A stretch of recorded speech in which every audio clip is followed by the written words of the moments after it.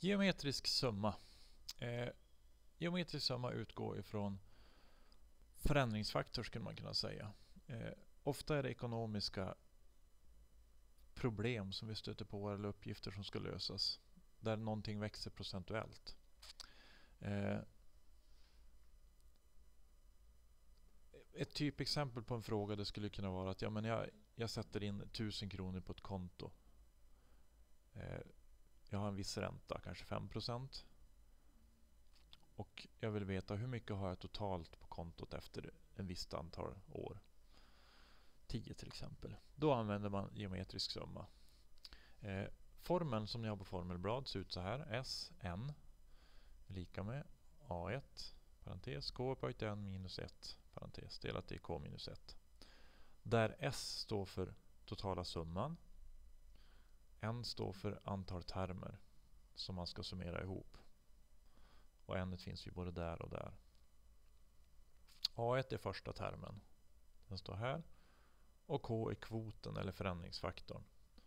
Och kvoten får man fram genom att dela i två termer. Eh, vi ska ta exempel för att visa vad som händer här och vad, vad det handlar om egentligen.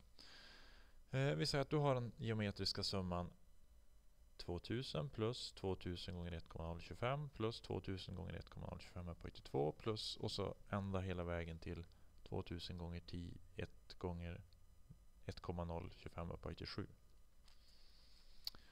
Så hur många termer, n alltså, har den här summan?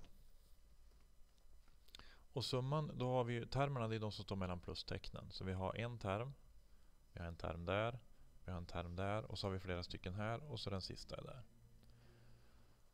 Så då kollar vi en, två, tre. Men sen då, vad händer här? Jo, vi har ju både den där upphöjt till 3, upphöjt till 4, 5, 6, 7. Så vi har en, två, tre.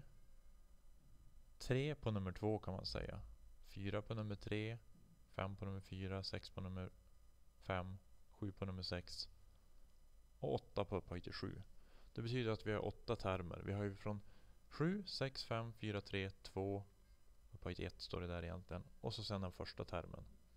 Så vi har åtta termer totalt. Oj, så fett ville vi inte ha.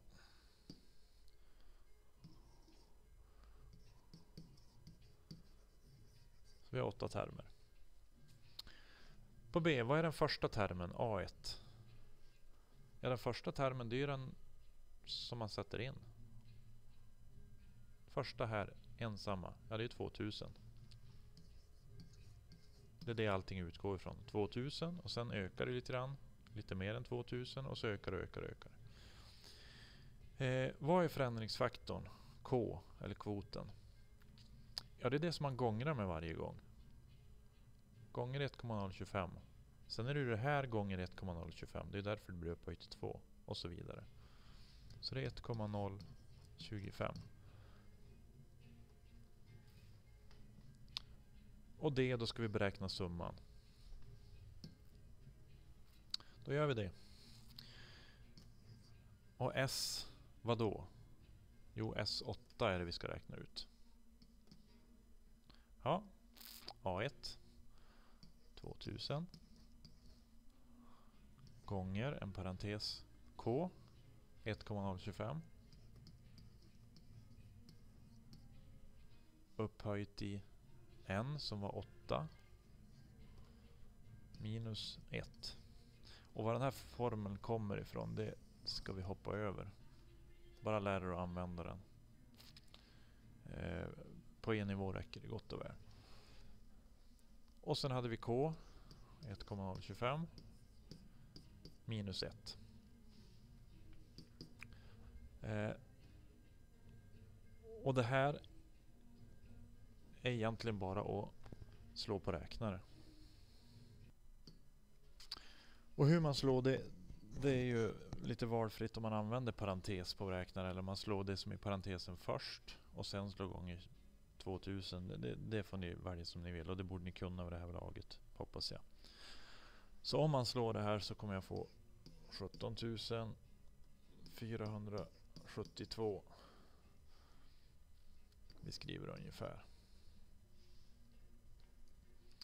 Eh, och vad handlar det om här egentligen? Det här är ju hämtat från någonting. Det är inte bara siffror. Jo, till exempel skulle det kunna vara så här att jag sätter in 2000 kronor på ett konto varje år. Min ränta är 2,5 procent. Och hur mycket har jag direkt efter den sjunde insättningen? Nej, efter den åttonde insättningen. Eh, och då är det så att hade jag inte fått någon ränta på det här, då skulle det ju vara bara 2000 gånger 8. Då skulle jag fått 16 000. Så det som är över 16 000 1400 kronor ungefär. Det är det jag får i ränta på de här pengarna under den här tiden. Och det är så att det händer ju olika mycket.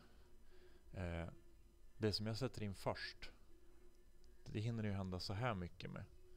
Därför att det hinner ju gå sju år. De där 2000 kronorna kommer ju att förränta sig i sju år.